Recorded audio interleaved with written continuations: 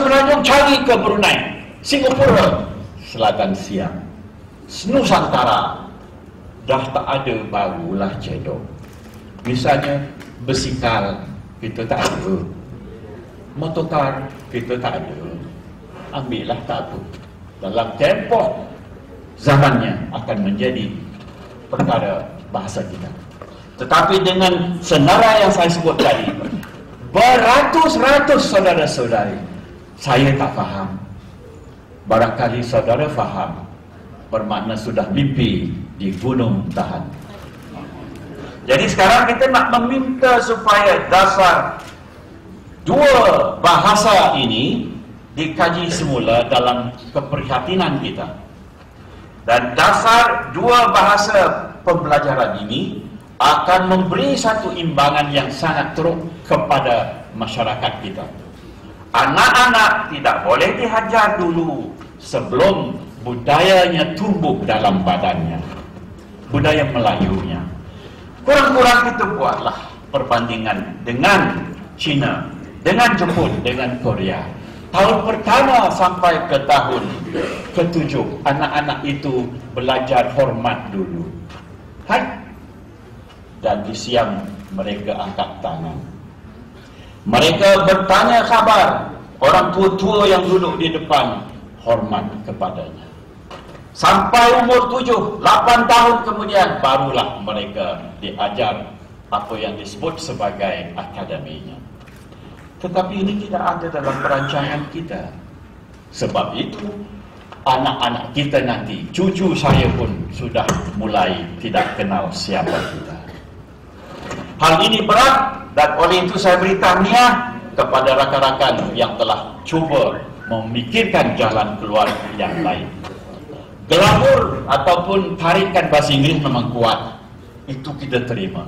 Kita tak tolak bahasa Inggeris. Tetapi kita mesti mendahulunya dalam memupuk budaya intisari orang Malaysia kita. Saya beralih kepada perlembagaan sedikit. 160. Dalam peruntukan ini tiga syarat nak jadi Melayu. Iaitu berbahasa Melayu secara lazim memeluk agama Islam dan mengamalkan adat istiadat Melayu. Yang bermakna budaya Melayu. Jika kita tak mengamalkan adat Melayu Melayukah kita dalam perlembagaan? tidak. Kalaulah Karpal Singh masih hidup tentu dia akan seret saya ke mahkamah satu hari. Untuk mengistiharkan Rais Yatim bukan orang Melayu. Sebab saya boleh buktikan dia tak mengamalkan budaya atau adat Melayu.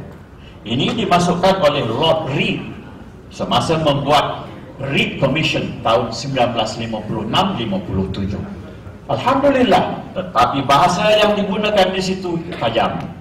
Tidak pernah diungkai oleh orang perkara 160 ini dan sekarang oleh kerana kita berbincang mengenai bahasa Melayu, mesti kita bincang bersama. Yang pertama menguatkan adat istiadat atau budaya ialah raja. Kita minta kepada semua kebah duli tuanku, tolong buat program pembudayaan istana yang baik. Bahasa bagaimana nak menjunjung kita? Apa erti dengan perkataan junjung kasih setinggi-tingginya dengan junjung tinggi kasih orang tak tahu. Itu contoh yang kecil. Tetapi kalau semasa kita memperakukan bahawa anak-anak sekolah darjah satu sampai darjah tujuh tadi boleh kita masukkan arti raja kita arti bahasa kita arti sopan santun kita, arti budi kepada orang lain.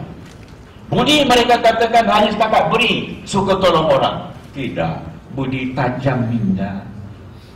Budi tajam pemikiran. Pisau laut sebongkok hulu, bentang tilam tengah halaman. Pasir dan laut jadi guru, alam terbentang jadi pedoman. Kita ajar mereka sayang kepada alam. Tapi bab itu adalah bab yang berada di bawah perkara 160. Kita tidak pedulikan hal ini. Justru kita mau katakan begini.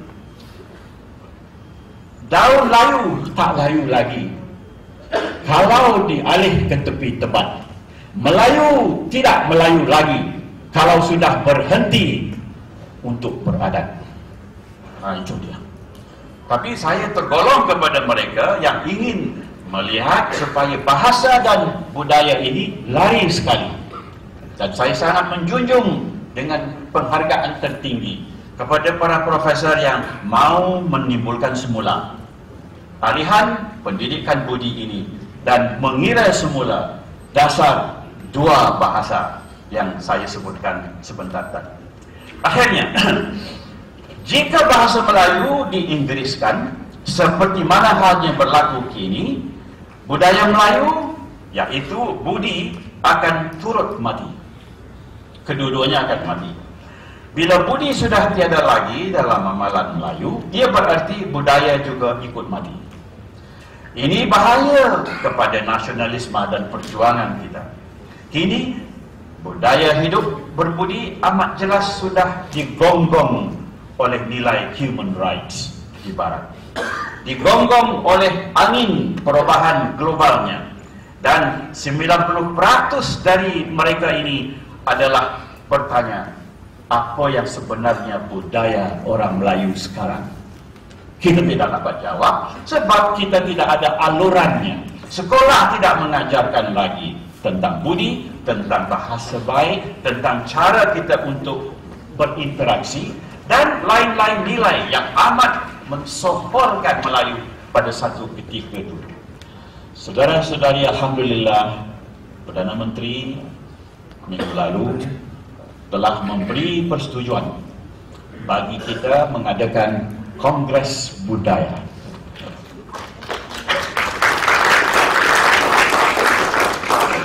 Barangkali saudara terkejut sebab kongres ni dah lama tidak dibuat. Uh, akhirnya uh, Prof. Zainal ya, tahun 1971 dibuat. Dirasmikan oleh Tun Abdul Razak, ayahnya PM kita.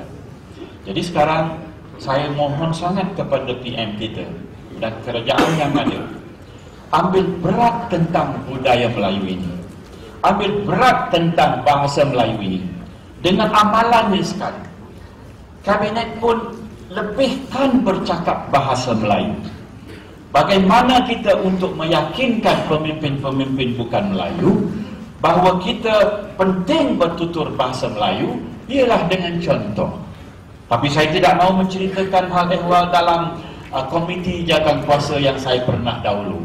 Tan Sri uh, Wahid semuanya telah mengalami ini. Mari kita lihat semula masa depan kepada perancangan kita mencari hal-hal berkaitan dengan bahasa ini. Hendaklah dengan raja-raja Melayu sekali. Oleh itu, hasil Kongres Budaya ini kita akan sembahkan kepada Raja Melayu dan juga kepada kabinet. Dan saya mohon setiap yang hadir di sini libatkan jari telunjuk kita untuk menyatakan kita hendak buat ini terbaik mungkin. Cuma masanya singkat sebelum puasa. Dan ini kalau kita nak buat dengan ringkas pun boleh atau dengan detail dan huraian yang lain pun boleh akan saya panggil insyaAllah rakan-rakan yang ada kepentingan dalam perjuangan yang bersama pagi ini dalam satu perbincangan. Masa berlalu amat rapat dengan warisan budaya dan seni budaya. Oleh itu kunci kuasa kepada bahasa hilang bahasa hilang sasiat dan hilang pedoman bangsa kita. Di sini telah kita nyatakan tahun 71 budaya rantau ini kita jadikan penghulu. Tetapi pada masa ini terlampau banyak isu yang sudah muncul.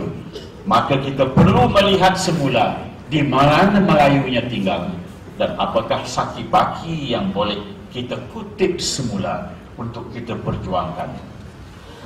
Mari kita harun perjuangan bahasa Melayu kembali dan mari kita letakkan BM sebagai bahasa ilmu bahasa perdagangan, bahasa Nusantara. Dulu saya mohon supaya kita menjadi satu bahasa di bangsa-bangsa bersatu. Tetapi ini tak boleh buat seorangan. dengan Indonesia perlu kita laksanakan bersama. Untuk kita ke seberang laut begitu jauh memang sukar kini. Oleh kerana serambi kita masih belum dihuni dengan pahlawan-pahlawan yang suka untuk berjuang bersama. Kepada Majlis Perundingan Melayu Tahniah, kepada utusan Tahniah, kepada Gapena dan lain-lain Tahniah. Ayuhlah ilmu dicanai bahasa Melayu kembali disemai. Aku lu qauli hadza wa astaghfirullahalazim. Wassalamualaikum warahmatullahi wabarakatuh.